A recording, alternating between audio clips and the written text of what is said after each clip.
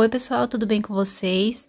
Começando o vídeo já com essa visão aqui, ó, cheio de sobrinha de barbante. Quem viu o meu vídeo anterior sabe que essa caixa tá lotada, não diminui. Parece que só chega mais sobra aqui para eu trabalhar. Vídeo anterior eu fiz é, produção com sobra de barbante, eu fiz pezinhos de porta, ficaram lindos. Quem ainda não assistiu, corre lá para ver tá? Tem um mais lindo que o outro. E hoje eu quero fazer uma produção de tapetes, tá bom? Usar essas sobrinhas aqui para fazer tapete. Se você tem sobra aí na sua casa, já vai separando as sobrinhas, se inspira aqui nesse vídeo junto comigo, escolhe o modelinho que você queira fazer e mãos à obra. Vamos ganhar dinheiro, né? Não pode deixar material parado. Ó, isso, isso aqui me dá uma agonia, gente. Agora eu tô deixando as sobrinhas tudo na caixinha e pode ver que ela passou da altura da caixa, olha isso nem tem como mais fechar essa caixa. Então, isso eu fico agoniada. Então, eu tenho que produzir, pelo menos diminuir um pouco essas sobras, né? Então, vamos lá, gente. Se você já gosta desse tipo de vídeo, já vai deixando seu like, se inscreve aqui no canal se ainda não for inscrito. E vamos lá. Eu vou produzir e depois venho aqui para mostrar para vocês todos os tapetinhos já prontos, tá bom? Passo todas as informações. Bom, pessoal, voltando aqui para mostrar para vocês o que eu consegui produzir com aquelas sobrinhas, tá? Ainda tem muita sobra, não vou fazer tudo de uma vez, tá bom? Vou fazendo e conforme eu for fazendo eu vou mostrando pra vocês assim nos vídeos. Esse aqui, gente, é o tapete Vanessa. Eu fiz ele com fio 6 e fio 8 misturado, então ele ficou um tamanho bem grande, ficou 75 por 50, ficou bem grandão. Eu vou passar ele por 35 reais. E ele tá lindo, aqui eu utilizei as cores, ó, em degradê, né, de preto, chumbo, é, cinza, chumbo e preto tá? E ficou muito lindo. Vou pro próximo. Fiz esse tapete Mari em tons de rosa, rosa bebê e rosa médio. E olha só como ficou lindo. Uma carreirinha só do cru. E aqui eu utilizei o rosinha mesclado e o verde. Ficou muito lindo também, vou passar por 35, vou medir ele aqui pra vocês. Esse ficou com 70 por 48. Eu não sei, eu, eu começo a fazer os tapetes com a intenção de fazer muito tapete mari. Eu tô na cabeça de fazer muito tapete mari. Mas quando eu começo a fazer, eu não consigo desenvolver mais. Eu faço um e desencanto e já passo para outro modelo. Não sei o que acontece, é um bloqueio com o tapete mari. Apesar dele ser lindo, né? Mas eu acho que é porque eu não... Não sei. Eu não consigo fazer vários dele. Acho que me enjoa. E aí eu vou fazendo outros modelos. Eu gosto sempre de fazer uma coisa diferente, né? E aí eu vou mostrar para vocês um outro modelo que eu peguei. Vou mostrar aqui, já eu já falo um pouquinho dele para vocês. Esse aqui, gente, também ficou medindo 70 por 50. Eu fiz ele aqui na cor cinza e rosa bebê. Ficou muito lindo.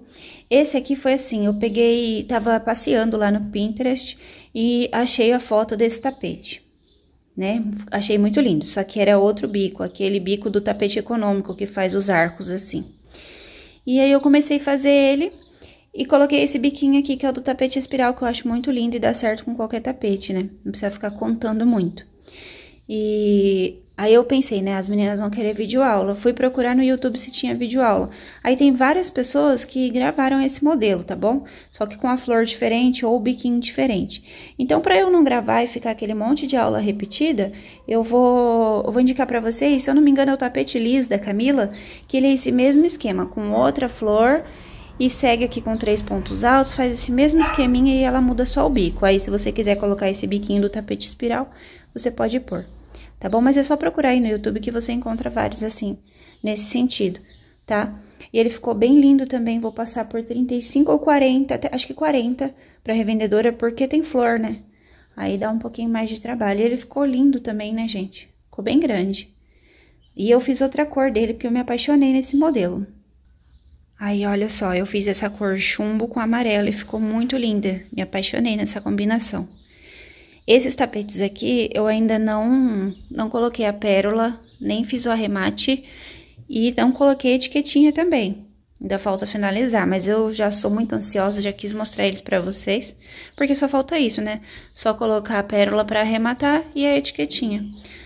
Então, esse aqui ficou a mesma medida, né? 75 por 50, vou vender no mesmo valor de 40 reais.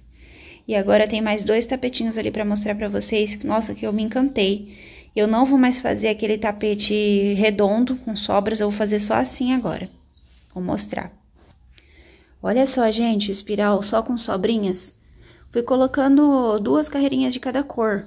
E olha só como ficou lindo. Só coloquei uma aqui pra finalizar antes do bico, uma cor só desse preto, uma carreirinha só. Ficou lindo, gente. Tô apaixonada nesse jeito, nesse modelo, né? Nessa, nessas combinações. Nossa, eu fiquei encantada. E vocês, comentei se vocês gostaram. Ele fica muito mais bonito, assim, com sobras, do que aquele redondo, né? Que é aquele que sai da crise. Eu preferi fazer o espiral. E é um modelo que vendo fácil também. É, ele eu vou passar por 35.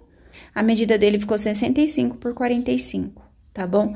Misturei aqui também fio 6 e fio 8. E fiz mais um espiral que eu também achei lindo, vou mostrar já já. Olha isso, gente maravilhoso, com cores mais clarinhas, né? Aí aqui eu utilizei o cinza, o rosa bebê, o azul bebê e o verde, verde água, verde limão, né? Mais fluorescente, neon. E aí voltei repetindo as cores. Gente, super encantada com esse tapete. Pra mim esse aqui foi o mais bonito. Maravilhoso, né? E nem parece que é com sobrinha de barbante.